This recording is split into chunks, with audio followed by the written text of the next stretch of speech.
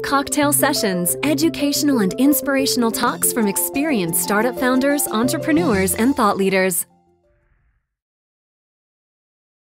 It's great to be here, particularly uh, because I do love celebrating entrepreneurship. One of the things I do on the side now is chair this organization called Startup America Partnership, which really is about celebrating and trying to accelerate entrepreneurship through the whole nation and really try to lift up the, the second and third tier regions and build up their entrepreneurial ecosystems. Everybody, of course, knows what's going on in Silicon Valley, and there's a lot of companies there and a lot of venture capital there, and it's a terrific, well-developed entrepreneurial ecosystem.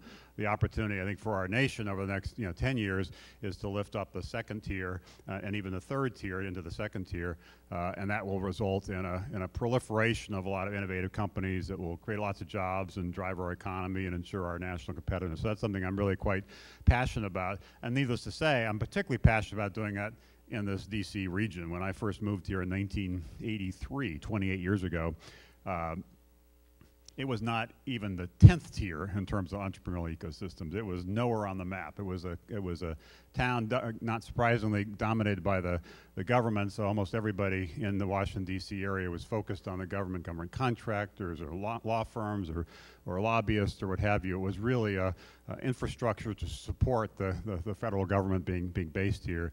Uh, there really wasn't much uh, in the way of an entrepreneurial uh, community, just a few little smidgens around the, the edges. So I moved here in 1983 to uh, join a little company uh, that was trying to do what was essentially an early interactive service. Unfortunately, it failed, which was my, my, first lesson around perseverance. Even sometimes these things take a little while. Uh, but thankfully, I and two other co-founders, uh, Jim Kimsey and Marc Seriff, ended up uh, two years later in 1985 starting uh, what became uh, AOL, not too far from here in the Tyson's Corner area. But when we got started, our venture capital came from New York and Chicago and California and Canada. Our principal legal advice came from, from Boston. Uh, the, the infrastructure to develop companies in this region just didn't yet, uh, yet exist. And the market that we were uh, pursuing, obviously the internet, really didn't exist either. Only about 3% of uh, people were online at the time in this country, and it was less than other parts around the world. So it really was a belief that there was a big idea around the internet and making it part of everyday life, and also a sense that over time the Washington, D.C. region could develop as a, as, a, as a great entrepreneurial ecosystem. So needless to say, the fact that it has developed so nicely in the last uh, 25 plus years uh, and there's such a, a, great energy, including events like uh, this, is, is, is, great to see. And I really do believe this is one of the regions that has an opportunity to really make a move into the top tier. Right now, it's a, the, the National Venture Capital Association, kind of which ranks the cities based on how much venture capital uh, is deployed in different regions, ranks the DC region broadly, Virginia, Maryland, DC, as eighth in the nation, uh, which is, as I said, you know, quite a bit of a jump from where it was you know, even 10 years ago, certainly 20 years ago. Uh, but there is an opportunity to continue to develop it, and events like this really help help do that. I thought I'd touch on a couple other things, and then really want to leave a lot of time for. Uh, uh, for your questions. When we got started with AOL, as I said, 1985, and, and it was still a you know kind of early days. Uh, it really was driven by an idea, an idea that someday, somehow, some way, everybody would get connected. And of course, now that seems obvious. Uh, in the mid 80s, it was not at all obvious. A lot of people had tried this, this you know, Knight Ridder and AT&T, a lot of very significant companies had tried to create interactive services for consumers, but it just didn't stick. People weren't embracing it. And most people looked at that and concluded that consumers don't want interactivity, that, that there's something in, you know, inherent about what was going on here that really made, it just wasn't that appealing. People just weren't, the dogs weren't eating the dog food kind of uh, dynamic.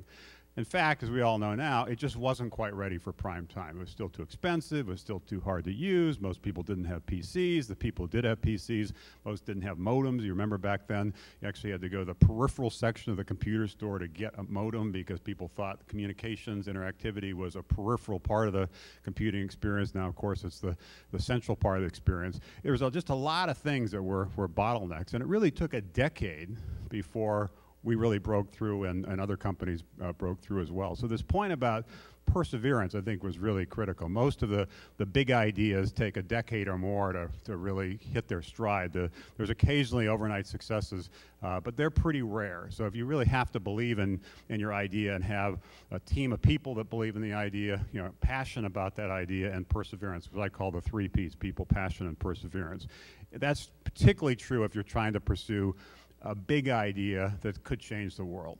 There's a lot of companies that have little ideas around particular products, and they might build them up and sell them off to somebody, and, and that's okay. It's more of a built to flip model. But if you really have a built to last, change the world model, it's typically going to take a, a, decade or more. So you really have to be recognized it is a, a, marathon, not a sprint, and organize yourself and your team and your mindset ar around that. And it's, it's less common, but I think it's really important. And I'm particularly supportive of the companies that are in that built to last, change the world model, because I know it is harder, but when they break through, if they break through, obviously not all do, uh, it has a much more significant impact in terms of what can happen in society, and it's much better return in terms of investment. It's just much more satisfying in terms of spending your time on something, you know, that's a, that's a big idea that can change the world as opposed to something that's more incremental and, and uh, and tactical.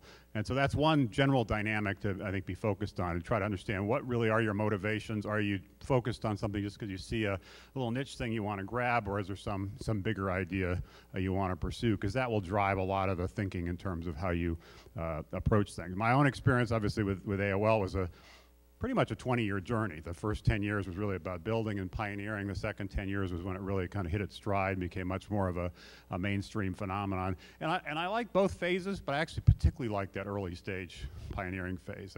Even though it was hard, even though it was challenging, even though it was frustrating, we went through at least three or four rounds of layoffs where we thought something was taking off, and it turned out it was you know wasn't quite ready. And so there was a lot of you know a lot of folks, including family members and friends, would say, "Steve, I mean, like give it up. You know, just this doesn't seem to be working. You should you should go do something else. But thankfully, we had a team that really was was uh, you know passionate about that idea and finally was able to uh, you know to break through. Then the last seven or eight years, I've focused uh, through a, a, firm not too far from here called Revolution on backing and mentoring uh, entrepreneurial companies instead of doing it myself as the entrepreneur kind of operator, doing it more as a, on the on the sidelines, but being pretty active in trying to help uh, build the companies, and that's been very satisfying. Companies like Living Social, that's uh, just a few blocks from here. I think Aaron is speaking uh, later today as a, an example of that, or Zipcar, a company that uh, just went public a month or two ago. These are these are great companies that have the potential to have a significant impact. And Zipcar is actually another example of this. Sort of takes a while. The, the company started a decade ago. We got involved uh, about five years ago, uh, and it, it's really a decade in the making overnight success. And this is common with these businesses that just have, there's some challenge around uh, building them up. So let me finish on a little bit on why entrepreneurship in America is so important and why things like the Startup America Partnership are so important. Uh, everybody knows the economy is, is sluggish. Uh, I think everybody recognizes that the uh, level of unemployment right now, about 9%, is, is uh, problematic and, and not really sustainable in, in a healthy kind of way. Uh, and the question, what do you do about it? And it's getting more attention in the halls of Congress, the White House, other places, which is great. There's much more of a focus now on the economy and jobs than there was, a year or two ago.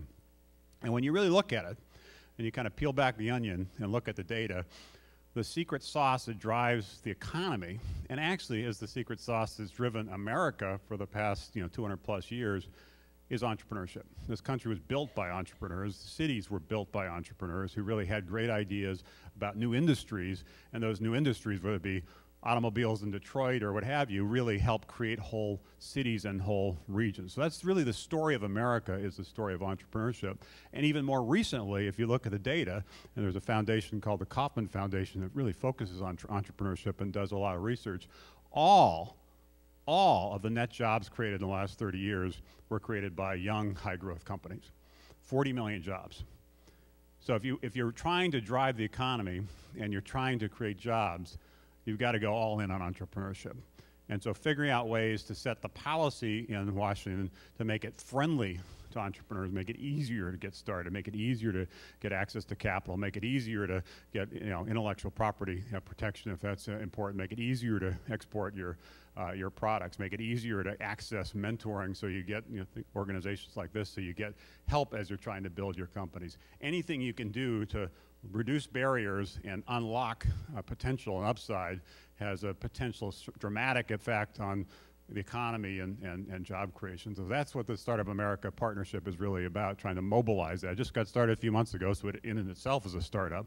Uh, but I think we've got some, some, some good momentum, and, and you know, a lot of companies are, are joining to try to provide resources to early uh, stage entrepreneurs and also the, in the startup phase and also these companies in what we call the speed up phase.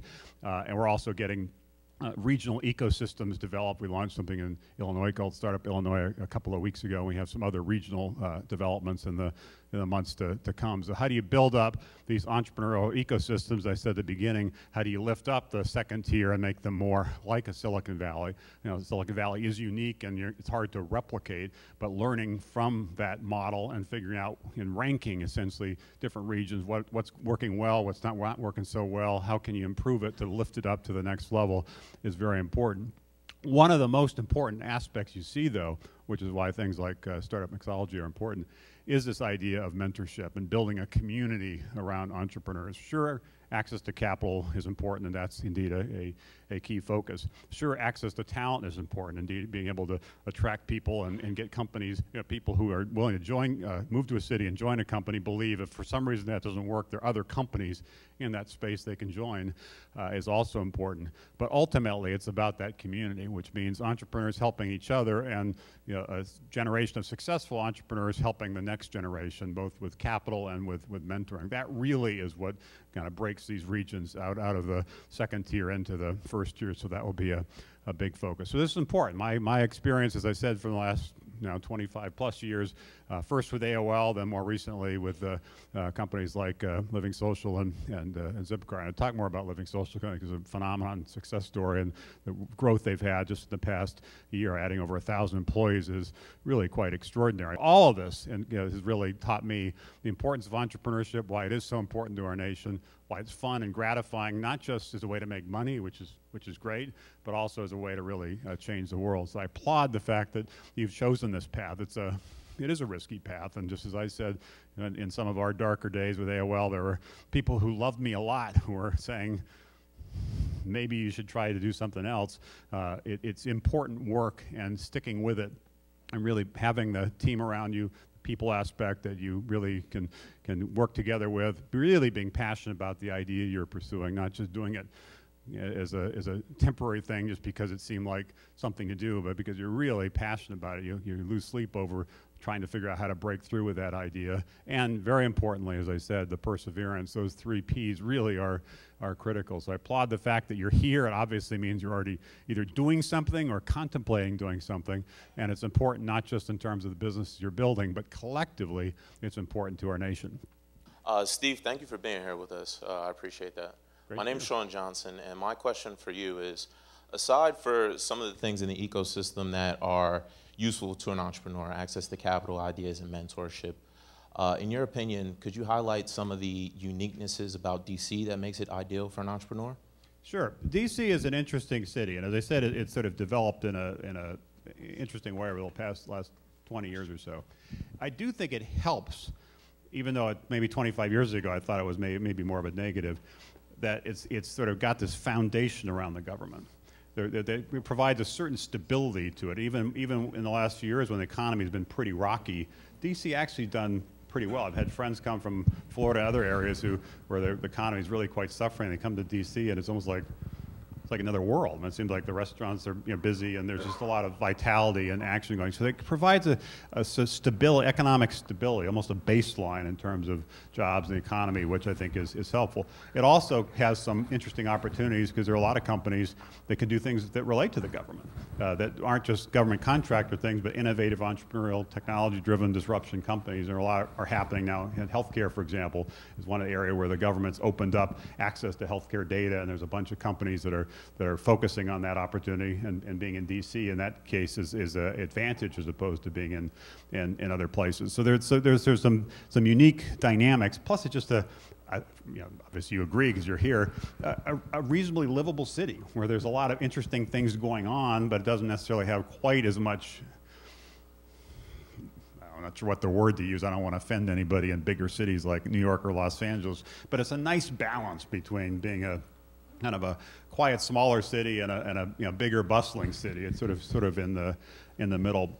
But ultimately, it's about the people and the talent and the ability of DC to be a magnet for talent, often coming for other reasons, not necessarily coming here to say, I'm going to go, go, start a company or I'm going to get involved in some entrepreneurial company.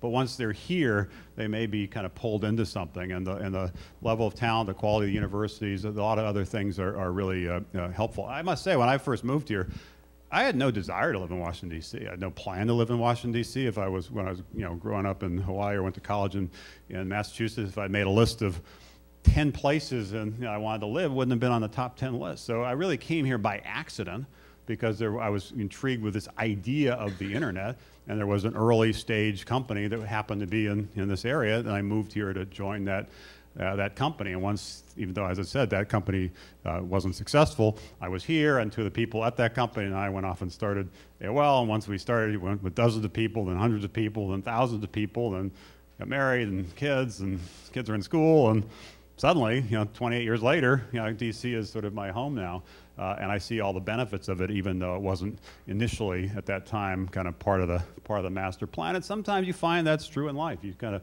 have to, you know, be flexible and open-minded, and and when you know, sometimes when doors open, you know, you should walk through them. My question is to do with uh, Startup America, the the is it a mentorship organization? Is it a VC fund? I mean, I kind of understand the charter, but what specifically are you providing? It, it is not a venture fund. So it really is more about mobilizing and cheerleading and assembling resources and then making it easier for entrepreneurs to tap into those resources. And the first version of a website, startupamericapartnership.org, is up and it will be relaunched in the, in the early fall with some other, other resources. But how do you get companies to make commitments? Uh, American Express and, and Cisco and Facebook and a lot of people have made pretty significant commitments to help entrepreneurs kind of get going, whether they're in the startup phase or the ramp up phase or the or the speed up phase. As, and a second part of that is how you build up these entrepreneurial ecosystems. We don't think it's sort of a national top down one size fits all effort. It's more of a bottoms up, particularly finding this these, these second tier regions and figuring out how to lift them up to be you know first tier regions. So that's the key part. There's a, I should say there's an adjunct to that that that's separate from the Startup America Partnership, which really is a private sector independent effort, uh, is I also am spending some time on the government policy side of things. I'm on something called the Jobs uh, Council on Jobs and Competitiveness, chaired by Jeff Immelt. We had a meeting with the president earlier this week in, in uh, North Carolina, and also on uh, co-chair of something called the National Advisory Council on Innovation and Entrepreneurship. That's the side of things that really is trying to work with the White House and Congress to figure out what is a roadmap for entrepreneurship that does reduce barriers and does lock, unlock potential. That's more what the government can do or needs to do. Startup America Partnership is really more what the private sector can do while we wait for the government to do those things to make it a little easier for entrepreneurs to get going and a little easier for them to scale their companies. What are some of the things that small businesses should be paying attention to in terms of um, special initiatives or policy that can benefit us? And I'm talking about small business of 500 or less or 100 or less or less employees? Well, one thing to look at, some, some, some folks are not familiar with some of the programs that already exist, like the Small Business Administration. You can go to their site, sba.gov, and they actually have a number of initiatives, including mentorship, including you know, loan guarantee programs, that for most entrepreneurs, they're unaware of or just don't know how to tap into. And so one of the things we actually talked with uh, this week with the president about is figuring out ways to streamline access to those and make people more aware of what's there. That's not to say there aren't additional things that need to be done, but there are some things that are currently exists that most people either unaware of or aware of, but just get frustrated trying to figure out how to navigate the system. But it, it, they've demonstrated the ability to help a lot of companies succeed. I talked last week with uh, Kevin Plank, who's the founder of Under Armour, a great company in this region now in the Baltimore area, in the you know, athletic uh, apparel uh, area, multi-billion-dollar you know, company now.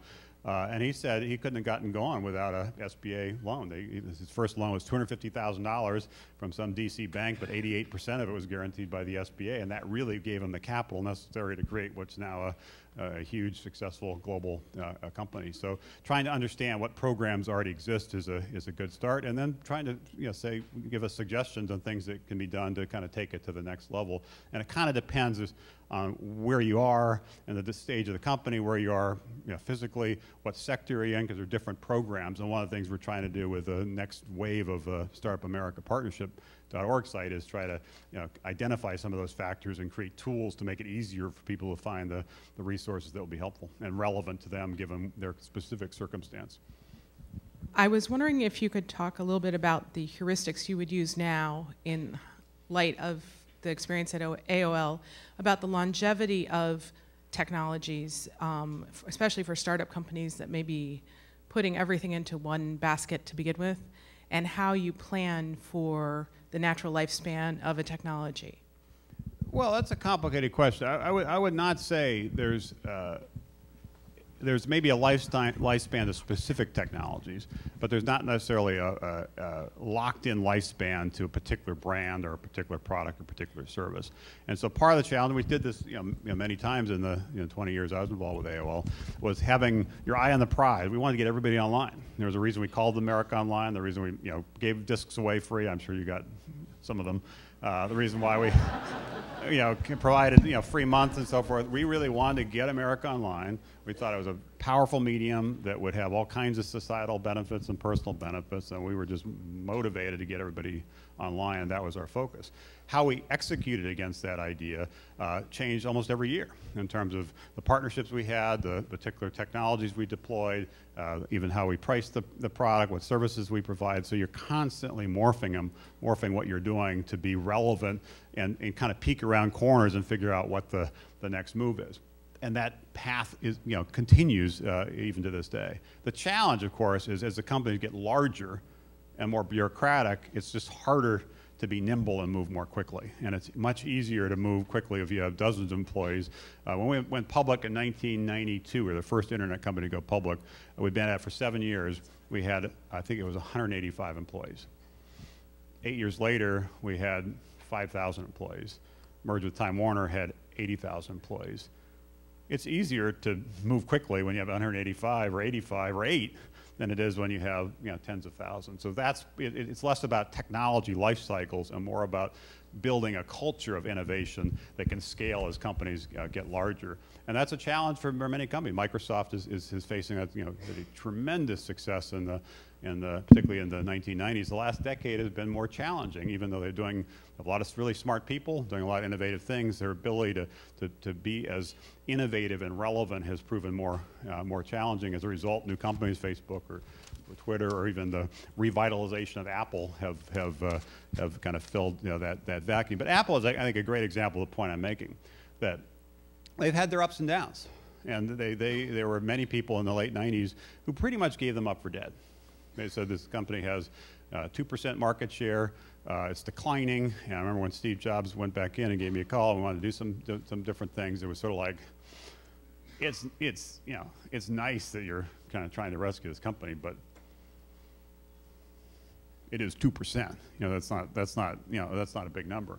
And what he, you know, really cleverly did was A, say, I believe in the brand and did some great things on the marketing side. B, I recognized the importance of teams, and there were some great people there, and he added some additional great people, including people that from a company had NeXT, uh, and really had a, a, team that really believed in Apple and believed in Steve and believed in, in, in the vision, uh, and then focus, went all on product and said, what, are pro what products are we going to do that are going to be more innovative on the, on the PC side, and particularly are going to open up new categories, iPod being a, obviously a great example, more recently the iPhone, uh, and basically took that brand, which stood for innovative, simple consumer experiences, and marched into other sectors and went from being irrelevant, I think the market cap when he went in was a billion dollars, to now, now being the most valuable technology company on earth, surpassing you know, Microsoft and you know, IBM and others. I don't know what the current number is, but you know, $200 billion plus. That was basically believing in the power of the brand and the power of people and reinventing the company around innovative uh, uh, products. So you, it's, it's, it's, sort of, it's never too late if you really have that, the, the core ingredients in terms of uh, particularly the, the people and you really have that, that, that uh, passion and you recognize, as I said, you know, it's, it's going to take some time, perseverance is, is important. What's your uh, take on the competitiveness of American small business in the international concept and the future American economic competitiveness in, in, the, in the international arena? It, it's a matter of concern. I think I think the that's part of the reason I'm spending time on it. The, the I think this, this, as I said, this nation has was built on entrepreneurs building whole new industries that were largely based in the United States. We've seen over the last 10 or 20 years, particularly, what some people, Thomas Friedman, Fareed Zakaria, and others have called the rise of the rest, where other countries, particularly China and India, but others as well, have, have risen, you know, up their game in terms of innovation and competitiveness and are putting pressure on the United States in, in that global context. That's going to continue. And, and to, to, be naive about that would be, you know, crazy. So it, it's easier for companies now to be formed in other you know, countries. Capital is flowing to those, talent is flowing to those. So the question is, how do we make sure that we up our game to stay competitive in what is a more competitive global world. Some of that relates to celebrating entrepreneurship. When you go around the world, people say one of the great things about America is, and it varies by region, by the way, it's not, it's not true all across America, is the willingness to celebrate the risk-taking nature of entrepreneurship. There are many cultures that frown on that. In this country, you know, most parts of this country, uh, it's celebrated. Figuring out what you can do in terms of capital uh, and what's the, what, what policies you put in place to incent early stage investment in terms of you know, tax incentives and other kinds of things, and what things you can do to make sure that companies can scale and not just have to sell off is, is, is, is very important. And the talent aspect is very important. One of the things I'm particularly passionate about is immigration policy related to high skilled workers. I think it's insane as, as a country. Uh, we bring some of the best and brightest to our great universities here uh, to get you know, PhDs, and then all too often send them away, uh, and they have to go back home, uh, and they end up creating companies there. It is insane. And so creating a, a, more 21st century immigration policy that recognizes that building companies is more about assembling talent, and you want to be a magnet for talent. And not only should we send them away, one proposal, if you graduate with a, with a PhD, we should staple a green card to your your diploma, and including a letter from the President of the United States saying, please stay here and build your company here. We don't want to lose these people. We want them to stay here and build companies here or join companies that, uh, that can scale. So there's a mix of factors. I think they're all addressable, uh, but it's very important that as a nation we take the challenge seriously, both the challenge globally and the opportunity in terms of getting our economy moving, getting, getting uh, uh job creation uh, moving you know, very seriously because if we're you know, complacent about it, we're going to continue to you know, lose ground. But the, all the things that, that we've seen just in the last 10 years, whether it be in, in the uh, internet space or you know, biotech or, or many other uh, places, there's still a lot of great ideas, a lot of great people, a lot of great companies, and, and as a nation, a great entrepreneurial ecosystem here. But we have to step up our game because everybody else is, is, is racing to, to replicate it and obviously wants to move into the lead what would you say what you've seen in entrepreneurs is sort of a, a common pitfall is, is it they didn't know enough about marketing they didn't know enough about finance they didn't know enough about technology what would you how could you characterize that? It's hard because i've seen a lot of different examples of a lot of you know uh, a lot of different ways to fail. So there, there's not there's a lot of different ways to succeed there are also a lot of different ways to fail and so it's a little bit hard to to generalize. I would say that the if i had to pick just one I think, is not getting caught up in the groupthink, either when things are going great or when things are going not great. Uh, I think there's too many people just it's just sort of a, almost like a momentum play, and sometimes you even see, particularly when certain sectors are hot, there's almost like a free agent mercenary culture. Oh, I'm going to do it just because it's hot. I don't quite understand what it is, unless I care about it, but it seems hot. I think I can make some money that usually is not a formula uh, for success. So being relatively even keeled. Now, I used to say when I was CEO, well, one of my jobs is to be a shock absorber. And when everybody thought that, you know, we're going to take over the world, kind of slap them down, and everybody thought we were going to, you know, kind of, you know, end up in the garbage dump, bring them up. There's, there was there was these highs and lows in terms of psychology, stock price, all kinds of things, and you just kind of have to have a sort of I thought a sort of a a more moderate, moderated, even-keeled uh, approach to that.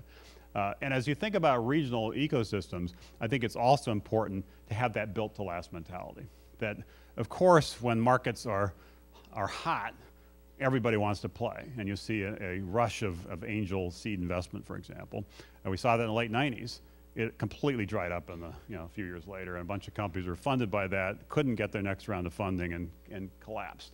Uh, so you have to recognize that, that, that you, it's not, it, it's easy to be successful when times are great and there's momentum and you're in the right place, at the right time with the you know right people. It's it's much tougher, and there are going to be cycles when when you know, things turn the other way. So having a strategy in each region that can withstand the next correction, which is inevitable. You can't really predict you know when it will happen, but it's, it's, it will happen. I think is is is very important. So it really is about you know, as I said at the very beginning, the, the, the, passion and perseverance aspect to it. If you really believe in a particular idea, a particular company, a particular product, particular technology, particular region, particular anything, and you're in it for the long run, and you and you commit to yourself to kind of be in it through those ups and downs, I, I think you're on a, a, good path. If you're basically kind of trying to read the tea leaves and and you know, if you know you're, you're happy to play hockey if hockey's fun and successful, but if, if, if it goes down, you may maybe play baseball. I mean, if that doesn't work, you'll play basketball. Kind of like jumping around in terms of not really committed to anything, just kind of flittering around kind of thing. I, I, don't think that's you know generally a path to success, and it's, it's certainly not helpful in terms of building scalable, sustainable entrepreneurial ecosystems, either at a regional level or a or a national level. So I think this built to last is important. I think unfortunately in the internet space, it's a good news, bad news. I shouldn't say it's unfortunate. The good news is the barriers to entry have come dramatically down starting a company 20 years ago would cost millions of dollars, maybe tens of millions, but at least millions of dollars. Starting a company now costs sometimes thousands of dollars, tens of thousands of dollars, occasionally hundreds of thousands of dollars, not that often millions of dollars. So it's much easier to get going, much less capital, you can outsource more things and, and so forth. That's great. There's a flip side of that, which is because the barriers are low, there's a, you know, a ton of companies that, that basically create in any one space, and getting the battle for attention becomes really much more important than the battle for, for, for capital. It's a little bit like the music business now, that there are a lot of bands and a lot of garages playing a lot of clubs that all want to hit it big and play Madison Square Garden or the Verizon Center or what have you. The success rate is very low, but everybody believes that they're going to be U2 or or they just, they just, they just do. Uh, and, and just recognizing there's that dynamic and figuring out it's not so much, and there's actually a lot of really good music that's recorded, and a lot of those bands are really good and have the potential to be, you know, great, great successes. But breaking through the clutter uh, becomes very important. So having that perspective uh, of really bigger ideas that are more built to last, harder to get going, you know, harder to sustain, harder to scale, but if you're able to break through, you really have much more of an iconic change the world company. You know, that's clearly clearly my bias. Anyway, thank you for, for coming this morning and thank you for coming to Startup Mixology and particularly thank you for being an entrepreneur.